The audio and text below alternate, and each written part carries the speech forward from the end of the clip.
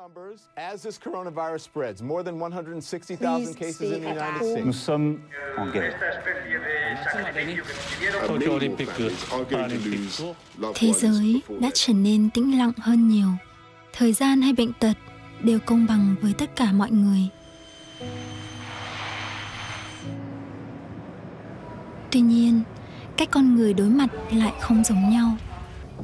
我是疾病管制署检疫人员。 中国大陆武汉地区发生肺炎疫情，且目前是肺炎、流感好发的季节。为了关心您的健康，依据传染病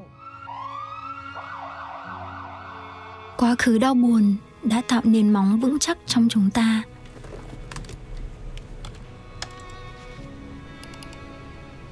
Nhận ra sự nhỏ bé của mình giúp chúng ta có thể nhìn xa hơn, 手指交错，搓一搓。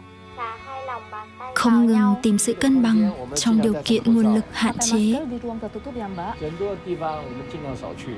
Kurangi ke tempat yang ramai.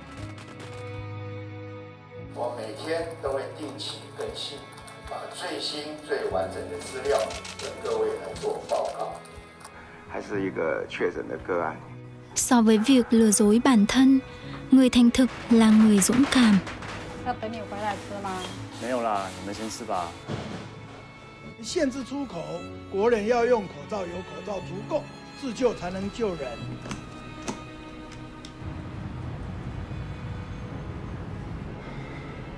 hy sinh cuộc sống của mình để bảo vệ tính mạng của những người khác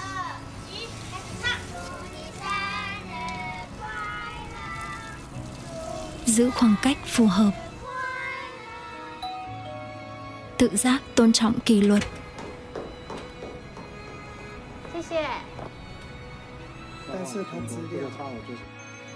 thiết lập các quy tắc tối thiểu để đảm bảo mọi hoạt động được diễn ra bình thường, đảm bảo sự công bằng cho bạn và tôi.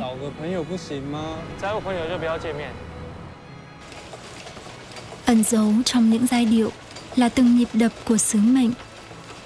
Để bảo vệ nhau, chúng ta có trách nhiệm giấu đi gương mặt mình. Về ngoài mới khiến chúng ta đều giống nhau và dễ dàng nhận biết thiện ý của bạn. Sau mỗi câu nói, chúc bạn bình an và khỏe mạnh là sự nỗ lực ngày đêm của rất nhiều người. Ở những nơi không ai thấy, chúng ta thầm lặng góp sức, cùng nhau đối mặt với nỗi sợ hãi và thể hiện sự can đảm hơn. Kết hợp chuyên môn của tất cả mọi người để làm những việc chưa ai từng làm trở nên có thể. Tìm đủ mọi cách, dù khó khăn đến mấy, cũng phải đưa bạn về nhà. Những người khó khăn đón nhận sự giúp đỡ, rồi nỗ lực đi giúp đỡ người khác, bỏ qua định kiến, cùng nhau chung tay để bước đi đúng hướng khoác lên mình sự vẻ vang, đứng trên chiến tuyến không chút do dự. Bất luận bạn ở đâu, chúng tôi luôn gửi chọn tấm lòng. Thêm một chút nhẫn nại là thêm một chút ấm áp. Vừa đối mặt với thử thách, vừa cải thiện. Chờ mong đến ngày mai về nhà trong vòng tay yêu thương, kiên định trong những bước tiếp theo. Dịch bệnh một lần nữa gây ra khoảng cách. Tuy thân thể cách xa, nhưng trái tim luôn hướng về. Theo đuổi mục tiêu, không bỏ sót một ai trong con đường chăm sóc sức khỏe. Khi cảm thấy mình bị cô lập và bất lực, tôi nghe thấy rõ hơn sự cổ vũ thầm lặng của bạn.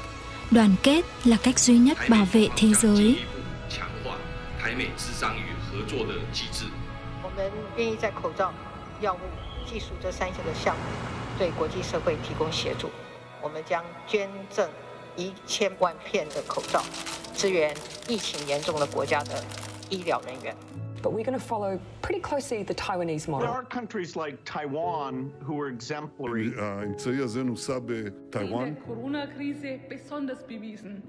Taiwan. Taiwan is a very good example.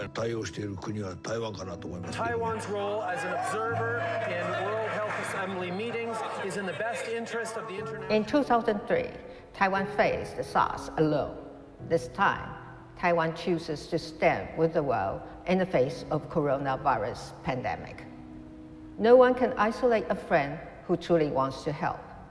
As we seek to achieve health for all, Taiwan can help, and Taiwan is helping.